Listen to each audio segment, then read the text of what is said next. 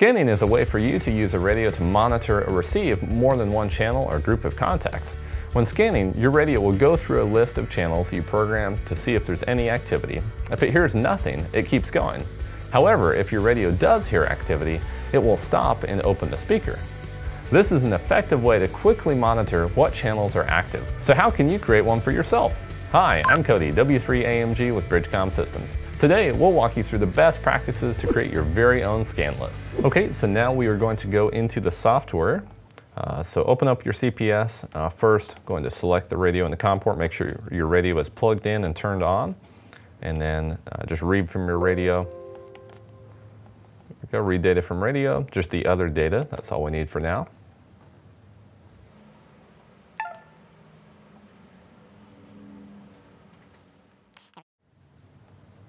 There we go, perfect. And from here, uh, we are going to go into scan list.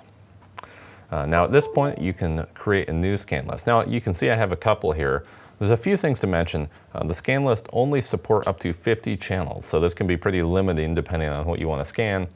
And they also scan uh, very slowly. If you're used to a actual like radio scanner, these scan very, very slowly. So if you're wanting to scan, you know, the, the max 50 channels, it will take a long time to get through it. And you know, if, if they're fast-paced transmissions, you may actually miss them. So it really isn't a good scanner for uh, you know, high-end scanning. But what it is good for is for scanning small lists. So what I'm going to do is uh, add the NOAA weather channels, which is you know almost essential to have them as a scan function if you do a lot of traveling and want to listen to them. And it works perfectly for that. So there we go. Now I'm going to label what it is. Uh, I've just added them from my list over here on the left, and then you click the arrows and select the ones you want, and you can add them to the list on the right. That's what's actually going to be in your scan list. One, two, seven. That way I know what it is. And then there's some more information options down here if you wanted to uh, scan a, a priority channel more often, but we're just going to leave that all of that turned off and click OK. And now you can see we have this uh, NOAA weather channels in our scan list. So we are now going to go ahead and write that to the radio. All we need is the other data.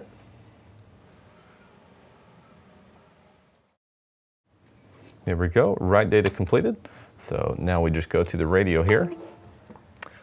Okay, so now at this point you can unplug your radio. Here we go, wait for it to boot up real quick. And there we go. So uh, if you have a zone, like for the weather channels, I have a zone already uh, with, with them in it. Uh, you want to go ahead and select that. Now you can do the scan list from a, um, a different channel or a different zone, uh, but that will pop up in your scan. It will, it will uh, include that and It's, it's kind of interesting how it works. Uh, so for this case, I'm just going to go to my weather channels and zone, and then go over here to menu. This so you can see it uh, menu and then go down to scan and then click on scan list.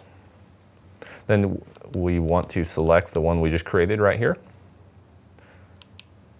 And then from there, generally I like to go up two clicks and that'll take you to the bottom of the page here.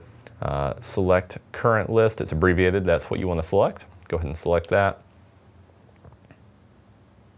Then back out and then we can go ahead and turn scan on. And you can set up shortcuts to make this easier for yourself. There we go. And as you can see, it is scanning through our, our weather channels at this point. Uh, now if I turn the volume up, we can see it's not actually stopping on any of them. Uh, that's because we're in the studio, which is in the middle of the valley and it's, it's down in the building, so we really don't have any reception in here. But if we were to go outside, the scan list will actually stop on a channel once it can receive it, and then you will be able to listen to that channel. You now know how to set up a scan list in your Anytone radio. After watching today's video, you probably will want to switch between scan lists. Well, no worries, just click the link below and we'll show you how. Thanks again for watching 7-3.